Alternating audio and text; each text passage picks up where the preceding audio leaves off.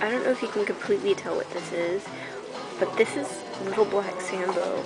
I, I can't believe that They have stickers of Little Black Sambo. I grew up on this book. It's kind of amazing. There's the pancakes and the tiger with the, the green umbrella. Oh, oh my goodness. Oh my goodness.